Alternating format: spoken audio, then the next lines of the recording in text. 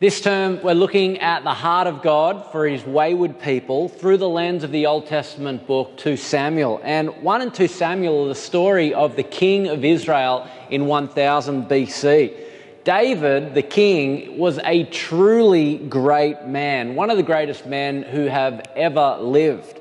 Um, I'm told that this story in 1 and 2 Samuel of, of, of David is the longest and greatest single narrative presentation in all ancient literature of a single individual human life.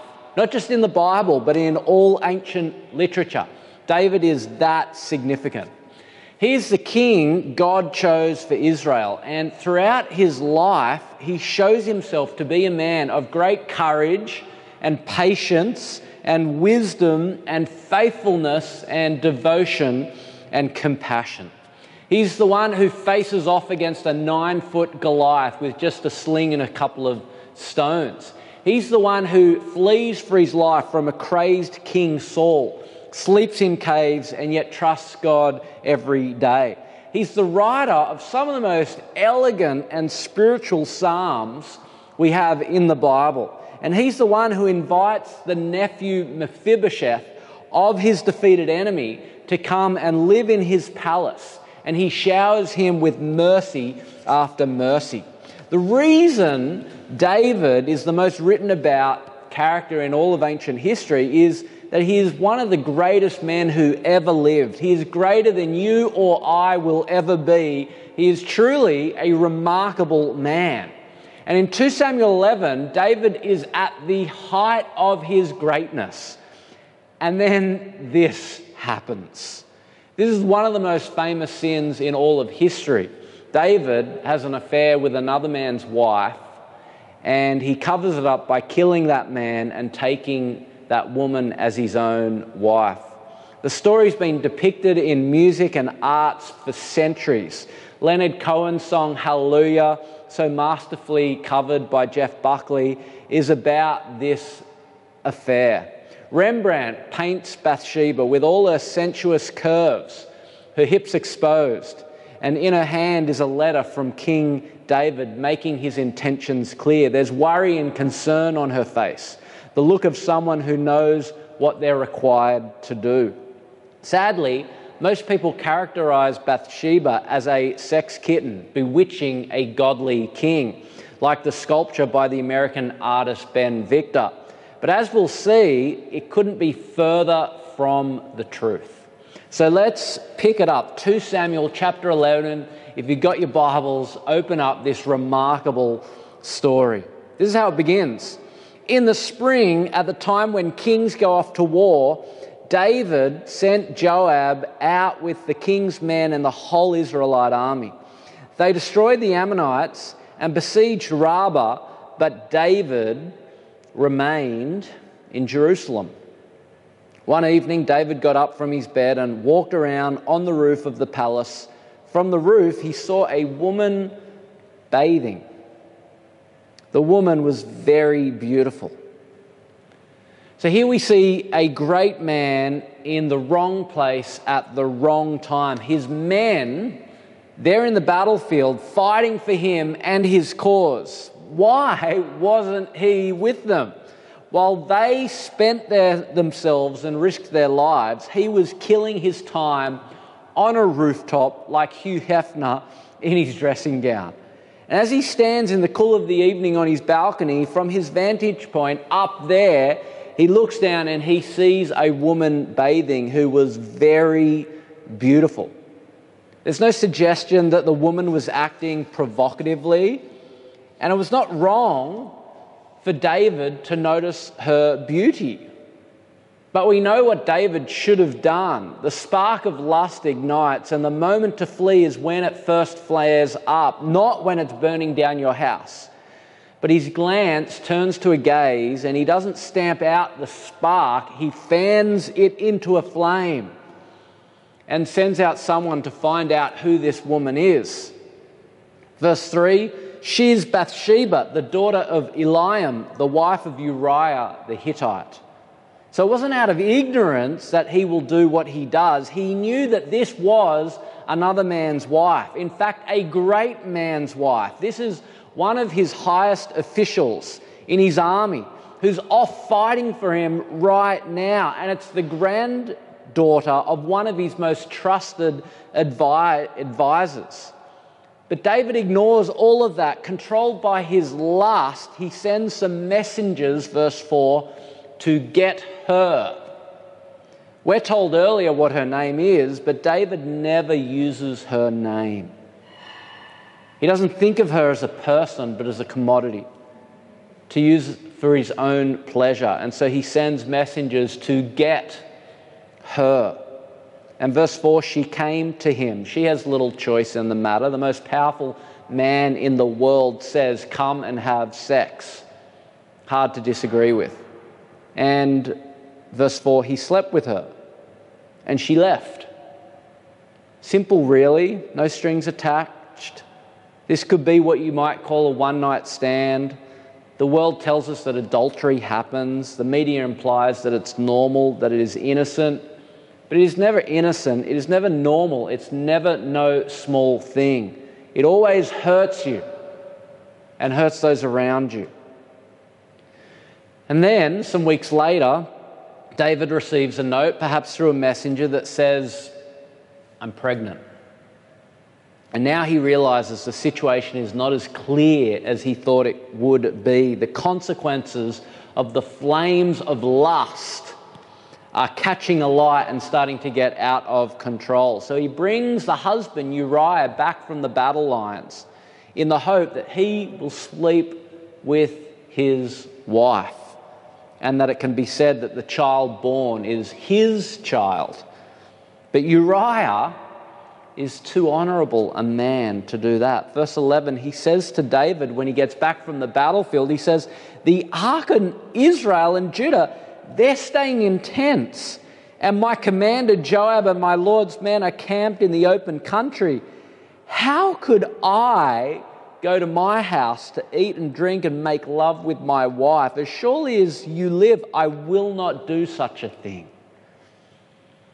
He will not take the privilege of sleeping with his wife while his mates are out sleeping in tents by the battlefield. What a contrast to his king who takes the advantage of his men by sleeping with their wives while they're out in the battlefield.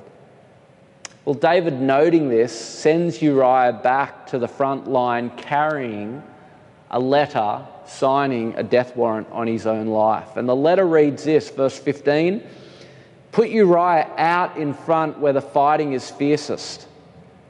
Then withdraw from him so he will be struck down and die. Now just imagine this Uriah has that note in his hand. David sends the note with Uriah, with the note, signing his death warrant in his hand. And David knows that this man is so faithful that he won't open it up and read it. He, David trusts him that much. And yet, David is plotting to kill such a man. Such is how wonderful Uriah is. He really is the hero of this story. And so Joab, the commander of the army, executes the plan. And a report comes back to David from the front line saying that a couple of your men died in battle, and Uriah was one of those men, verse 24. And David replies mercilessly to the messenger, verse 25, saying, Say this to Joab, don't let this upset you. And David is at the same time speaking to himself and placating his own conscience. But, verse 26, when Uriah's wife heard that her husband was dead, she mourned for him. And the time of mourning, when the time of mourning was over, David had her brought to his house, and she became his wife and bore him a son. Did she know what he had done? Well, we're not told, but there is, there she is, newly married to her husband's killer.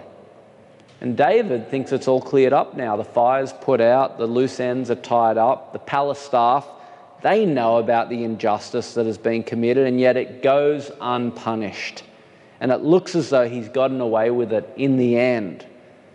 But verse 27, we're told this thing David had done displeased the Lord. He forgot that God is the one to whom all hearts are open, all secrets are known, and all desires are seen. And as the Bible says, you may be sure that your sin will find you out, and David's does. Even if no one else finds out, God is watching. He may be silent, but He is not sightless. What sins are you committing right now that you've hidden from everyone else? But God sees. The thing David had done displeased the Lord. You know, I know we love to sing songs about God's love, God's grace, His mercy, His kindness. But the anger of God is also a wonderful thing. It's a great thing. God is displeased, and this brings great comfort to victims of injustice. If your son had been murdered by the man who raped, or at the very least slept with your daughter in law, you would be glad that God is displeased. God's anger is unfashionable in a country where injustice is rare. But God's anger is very precious to those who are victims of injustice. This thing displeased the Lord. Praise God for that. Now, what will God do? Well, in the next chapter, this is what we read 2 Samuel 12 the Lord sent Nathan to David now, Nathan has a very risky task. He's a prophet and he has to talk to the king and expose the king's sin, but he knows that the king has the power to do to him whatever he pleases. And so he starts with a story. It's a wonderful story. This is how it goes. There were two men in a certain town, one rich, the other poor. The rich man had a very large number of sheep and cattle. But the poor man had nothing except one little ewe lamb that he had bought. He raised it, and it grew up with him and his children. It shared his food, drank from his cup, and even slept in his arms. It was like a daughter to him. Now, a traveller came to the rich man, but the rich man refrained from taking one of his own sheep or cattle to prepare a meal for the traveller who had come to him. Instead, he took the one little ewe lamb that belonged to the poor man and prepared it for the one who had come to him. Nathan tells this story to David, and David is furious he says, verse 5 of chapter 12, the man who did this must die. And Nathan, Nathan the prophet says to David with piercing directness, You are that man. Many women that you have, but you take the one woman that belongs to that one man. And some of us have done this. Some of you are doing this right now, and you must stop. It displeases the Lord. I beg you to repent and find forgiveness today. You know, the cost of adultery is always enormous. A number of years ago, there was a man in leadership at our church who had an affair with the husband of a lady in our church. And for him, it was just about love. Who could blame him?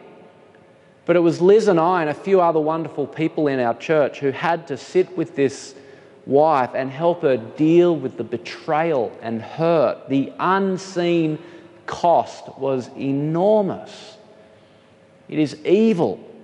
It displeases the Lord. And if you're in that place today, repent. For God is angry. And so look at David's response. Verse 13 He's cut to the heart and rightly so. And he says, I have sinned against the Lord. He writes a, a song about this, Psalm 51. Go and trace it up on your own. But he names it, he owns it. I have sinned against the Lord. And the Lord replies through the prophet Nathan, The Lord has taken away your sin. forgiveness received for a heinous sin. And so here is good news the good news of God's grace for sinful people like you and I. It is an epic story.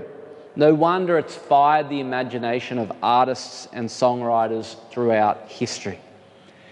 And as we stop and reflect on this story, I think it reminds us of two things. It reminds us of our need for a king who will save us and not destroy us. So let's look at those two things briefly as we wrap up. We need a king who won't first of all destroy us and then second of all who won't who will save us. First of all, we need a king who won't destroy us. King David is the greatest man who ever lived in Israel. Not only was he fearless in battle, he was compassionate in life. If ever there could be a king who could lead God's people, he was it. There's never been and never will be a greater king in our world. And yet, he takes another man's wife, impregnates her, and to cover up, he has the one of his most loyal soldiers killed. The consequence of this action is that he will lose the child born to Bathsheba, he will lose control of his family, and he will ultimately lose control of his kingdom. His lust burns down his life, and it destroys the lives of his people. Now, every leader, every human leader is flawed, even the best, the very best. And we suffer the consequence of their failures acutely. And perhaps you're very aware of that living in Australia right now in lockdown. You know, last week Andy reminded us of the misplaced hope that we place in our leaders, in our government, in our political system, in our economic programs, in our foreign policy, and in our education system. We look to those things to solve the deep problems in our world and our communities, but every disappointment that inevitably follows does not seem to have the power to teach us that the resources of humanity are simply inadequate to solve the dilemmas of humanity. We keep putting hope in our leaders and we keep being disappointed. And that's what this story is about. Here's the greatest king in history. And even he is not able to bring what we dream of. In spite of all that God had given David and did for him, he was a flawed human being like you and I. What we need is a king who is not flawed. And that is the king that David points to. For David was the anointed one. But he never measured up. He couldn't. The way he destroys Bathsheba and Uriah proves it. We need a king, a king from God in heaven, and that is how Jesus' life begins. Do you remember when the angels announce the birth of Jesus to the shepherds? They say, Today, in the town of David, a Savior has been born to you. He is the anointed one, the Lord. Now, here is David's great, great descendant. Today, in the town of David, a savior, not a destroyer, a savior is born. And as we watch this child grow up in the Gospels, we realize that he would never mistreat women, he will never use them, he will never see the lives of his friend as expendable, he would never make them pay for his sins, he would never try and cover up the truth. Rather, he gives his life to pay for their sins. That's the kind of king we need. It's the kind of king you need. Every woman in the world needs a king who won't bring them into his bed to use them. And every man in the world needs a king who won't treat their lives as expendable. Jesus Christ, he didn't bring any women into his bedroom and he doesn't murder any of his men. He offers his life up for them. We need a king that won't destroy us. And then, secondly and finally, we need a king who will save us. Because we're not just like Bathsheba in the story, victims of the sins and cruelty of others. We are, in varying degrees, like David we know how strong temptation is. And you and I, we have given into it. And we've sought to cover up our sins by lies and deception. Perhaps you and I, we've never murdered anybody, but this story does hold up a mirror to our souls. And we do see ourselves in it. And Jesus, when he enters into our world, the, the angels announce that a Savior has been born. And Jesus has come to save us from our sins. And notice that David, he doesn't save himself from the guilt and the shame. God saves him by sending the prophet Nathan to confront him that he might repent and find forgiveness. Now, we learn a lot about how God saves a person from this story.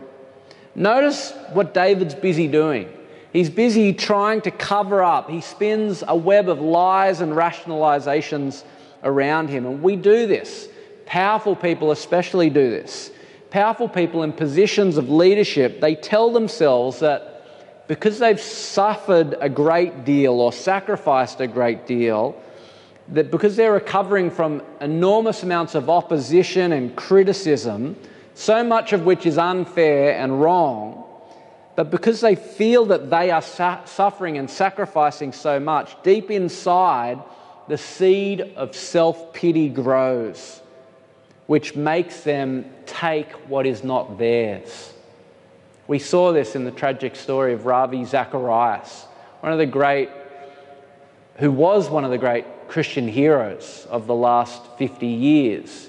And, um, and after his death, terrible stories came out, and the and the justifications and rationalizations he made for them were exactly this I've sacrificed much, I deserve this. And he covers it up and he justifies it, and collateral damage is done. But we all do this in varying degrees. And what happens is we spin such a web of lies and deceit that it makes it impossible for us to see what's wrong with ourselves.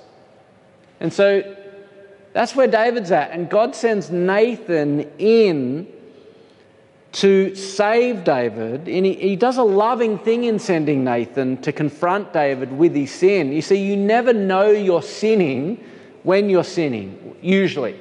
I like what Tim Keller says on this passage. He says, When David slept with Bathsheba, he didn't feel like a sinner, but a lover. And when he gave the order for Uriah to be killed, he didn't feel like a murderer, but a general. Generals are always giving orders that they know will result in the deaths of others. So, David, he has deceived himself. And so do we. The habits of our heart that are killing us are the ones that we don't see. That's why they control us, and that's why we don't see them, because we don't want to see them. We don't want to know them. And therefore, we need a Saviour who has the courage to confront us. Now, Nathan confronts David, and notice how he does it. It's amazing. Tells him a story about sheep. Now, why doesn't Nathan just cut to the chase? You know, what's with this story? Well, David's conscience needs time to wake up.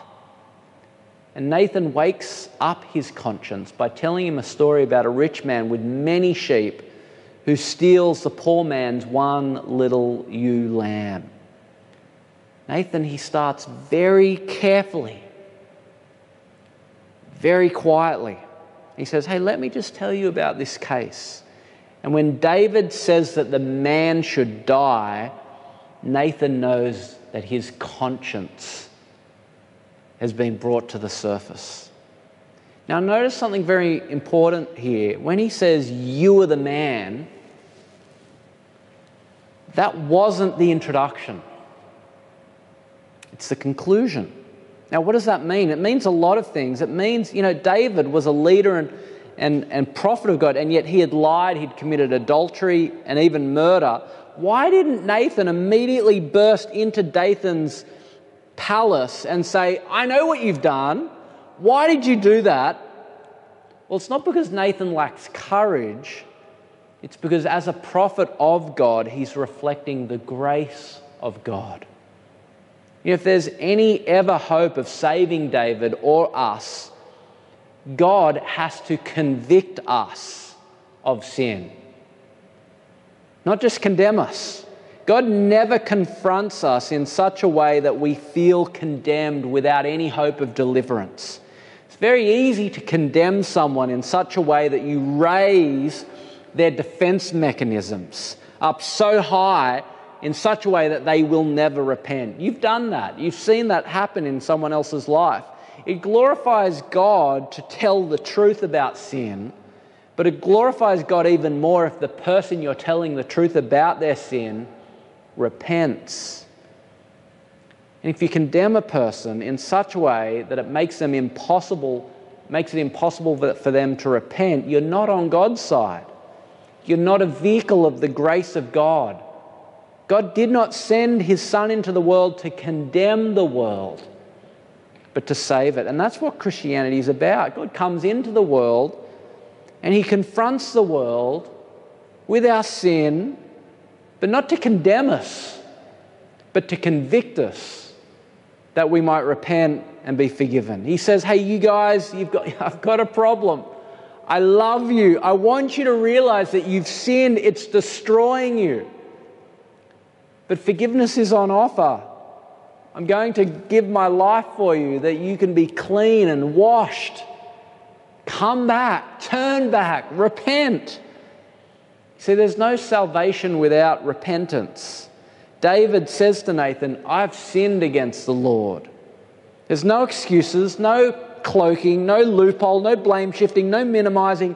He, acknowledges his guilt openly. And Nathan replies, The Lord has taken away your sin you're not going to die. Now, we love to hear, the Lord has taken away your sin. But how many of us regularly say what David says, I have sinned against the Lord? Honestly, openly, directly, without blame shifting. You can't have one without the other. Too much of Christianity today is all about forgiveness and grace and mercy without repentance and conviction and taking sin seriously. You can't have one without the other. And that's why Jesus came. He comes to us. He says, I will die to take away your sin. But we must say to him, I have sinned against the Lord. In Christ, God comes not to condemn us, but to save us. And he does that by dying for us. He says, You are the man, you are the woman, you are the sinner. He exposes our sin, but He dies to cover what has been exposed and bear the penalty for the sin that we've committed. How can God assure us of pardon no matter how bad our sins are? Well, at the end of the story, God forgives the guilt of David's sin, but he inflicts him with the consequences of his sin. His son dies. But in Jesus, God forgives us of our sin, and He bears the consequences of our sin as well. There's a great hymn by John Newton, which I'd love to read in conclusion. This is how it goes In evil long I took delight, unawed by shame or fear, till a new object struck my sight and stopped my wild career. I saw one hanging on a tree in agony and blood, who fixed his languid eyes on me as near his cross I stood. Sure, never to my latest breath can I forget that look. It seemed to charge me with his death, though not a word he spoke. My conscience felt and owned the guilt and plunged me in despair.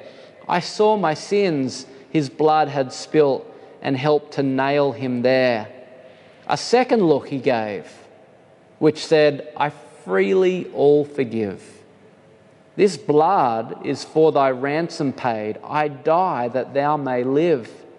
Thus, while his death my sin displays in all its blackest hue, such is the mystery of grace. It seals my pardon too.